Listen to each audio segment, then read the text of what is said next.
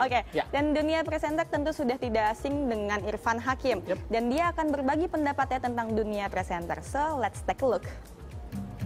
There's a fire starting in my heart. Reach Presenter terkenal Irfan Hakim bercerita tentang suka dukanya membawakan suatu acara.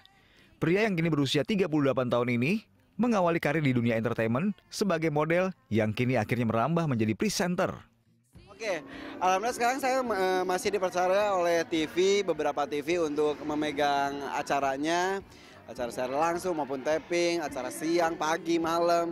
Apalagi ini masuk ke bulan Februari, sebentar lagi sudah akan ada beberapa acara baru. Senang banget karena apa ya, termasuk workaholic banget. Jadi kalau satu hari nggak syuting, nggak kerja tuh gatel karena nggak pakai make up. Intinya sih hobi pakai make upnya, bukan syuting. Yang jelas senang, senang masih dipercaya. Sekarang sudah eh, di dunia entertainment sudah kurang lebih 15 tahun, tapi masih banyak yang eh, mempercayakan acaranya dipegang oleh saya, itu harus disyukuri. Modalnya cuma saya suka ngomong, saya suka ngoceh dari kecil ngoceh, mau apa pun diceritain. Ternyata pas ketika udah besar ada profesi sebagai presenter, ih keren juga ya. Padahal awalnya kan saya tuh model loh, sumpah. Saya adalah model. Demi Allah saya model, beneran. Habis model, eh, model majalah, model iklan, sinetron, udah gitu akhirnya jadi presenter.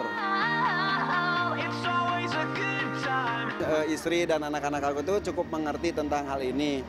Yang lainnya mungkin ya untuk waktu pribadi itu menjadi nomor sekian setelah waktu untuk umum gitu. Ketika kita ketemu dengan orang banyak ya udah kita nggak bisa bete, kita nggak bisa sedih, kita nggak bisa marah. Semuanya harus eh, masing-masing orang beda-beda. Tapi kok gue prinsipnya gitu gitu. Orang pengen ngeliat kita happy karena kita kan seorang penghibur. Penghibur ya masa jutek mukanya kok gue sih enggak.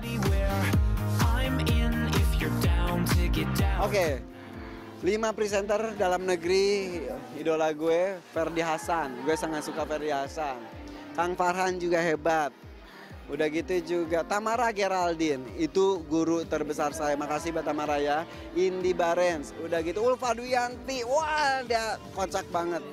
Indra Bekti juga.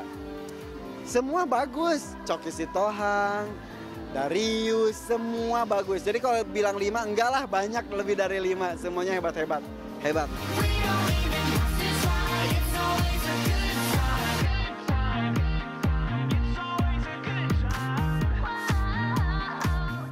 Itu tadi, Kang Irfan. Kakak kelas saya zaman SMA Oh, tuh. kelas Cuman kamu. beda jauh banget.